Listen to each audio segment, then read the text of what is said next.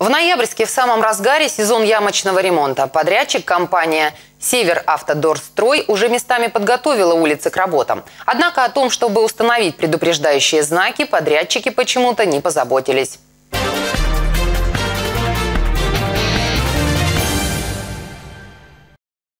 В итоге что мы имеем? Неровности на дорогах становятся для некоторых автолюбителей самым настоящим сюрпризом. И многие водители, кто не сразу заметил яму, вынуждены выезжать на полосу встречного движения, либо резко перестраиваться, что создает прямую угрозу безопасности дорожного движения. Мы обратились в госавтоинспекцию города, где нам пояснили, что накануне Север Автодорстрою было сделано замечание, и дорожников обязали сегодня же установить предупреждающие знаки.